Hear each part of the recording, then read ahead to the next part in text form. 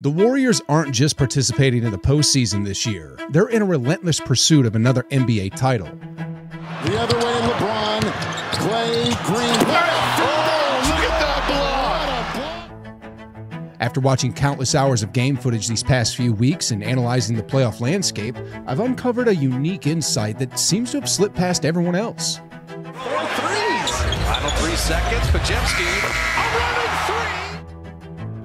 What matchups might the Warriors face in the postseason? Which teams hold an advantage over them, and which ones might struggle against Golden State's style of play? And most importantly, why do I think they're perfectly poised for a finals run? Dealing with everybody else. Step for three. Got it!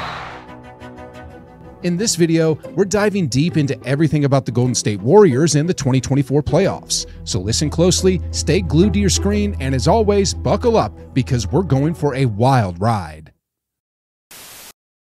I realize that many viewers might dismiss this as just another video of me trying to gaslight the Warriors, but the truth is, those who are making these claims likely aren't watching enough basketball. This has been something else tonight. The back door to Kuminga. It's not just about the Warriors, it's about keeping tabs on the whole NBA and noting what's happening. Put an eye on uh, Giannis here. He just sat down on the floor.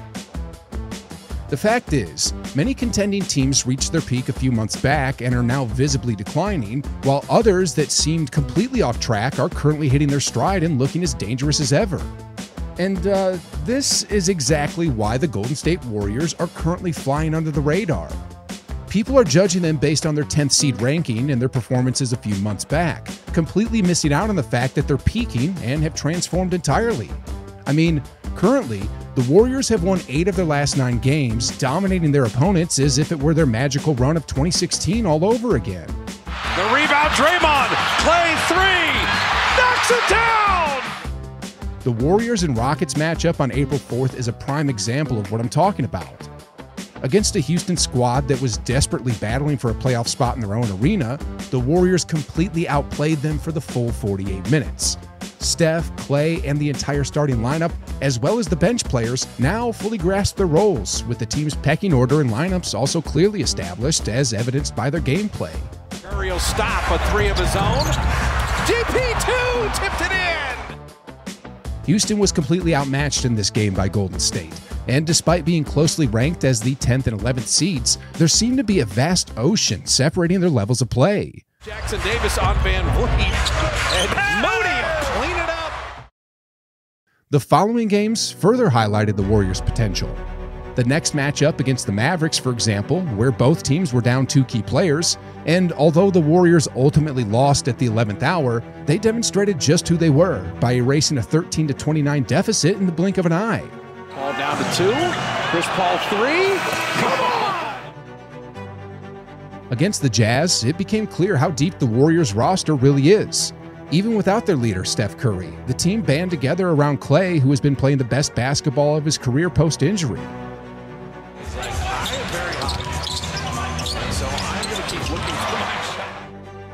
And even though Johnny Juzang was on fire, making 7 out of 8 shots from long range, the Jazz didn't stand a chance. It was a relentless onslaught from the Warriors, leaving the Jazz no breathing space whatsoever.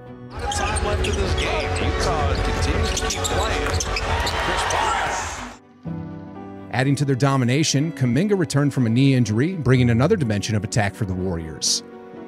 Strength in numbers was evident throughout, and it was crystal clear after this game, despite a season fraught with challenges, the Warriors had finally come into their own, solidifying their status as a formidable contender.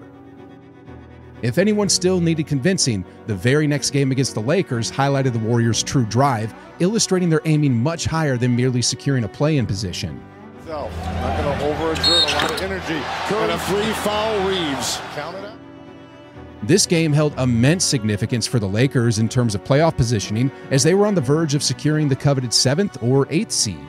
And it was evident that the Lakers were determined, as LeBron James was completely locked in, inspiring every Lakers player to follow his lead. However, even with the Lakers playing with urgency at home in front of a crowd of 19,000 and LeBron spearheading the effort, the Warriors showcased their full potential when operating at full strength. Game for Austin Reaves. Why not?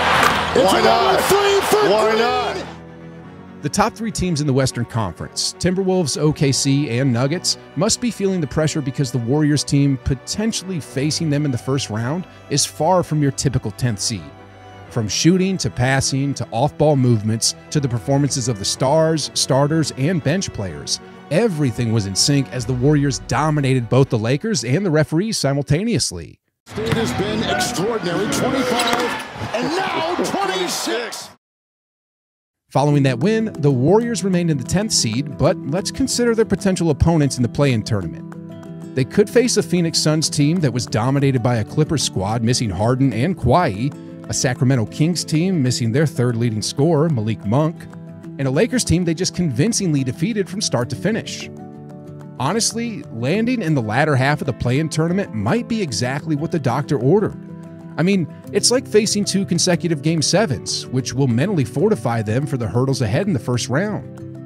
The seasoned veterans of the Warriors have experienced these situations time and again, but the young guns like Kuminga, Moody, Podziemski, and Trayce Jackson Davis have yet to even encounter such scenarios or make significant contributions to them. These games will truly immerse them in the mindset where every possession counts, which will be crucial, particularly against a team like Denver. Peyton Watson, Jokic from Murray. Oh, it for Gordon.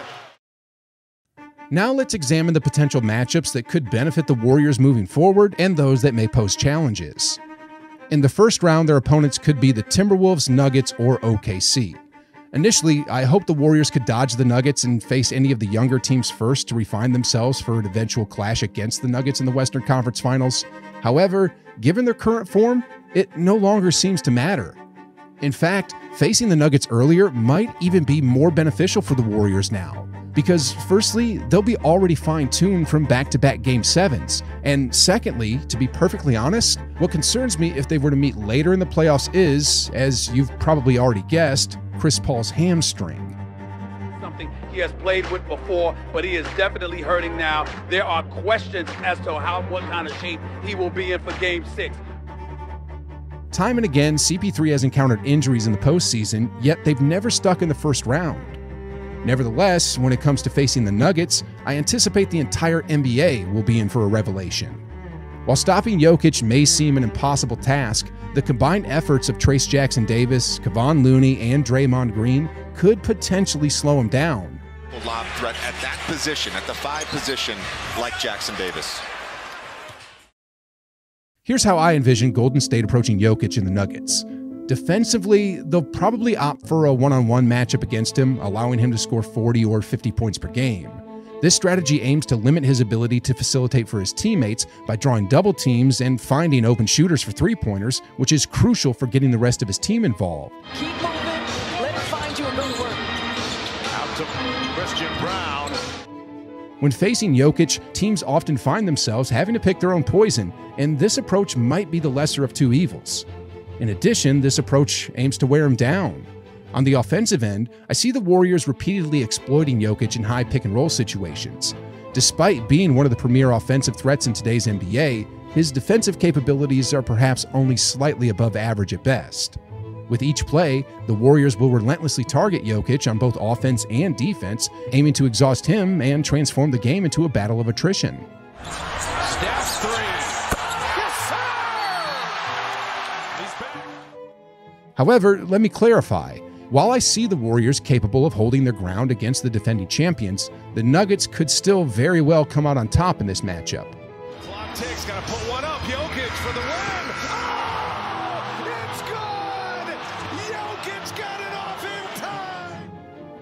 As highlighted by JJ Redick and LeBron's discussion on their podcast, at the pinnacle of basketball, it's often the team with superior basketball IQ that wins.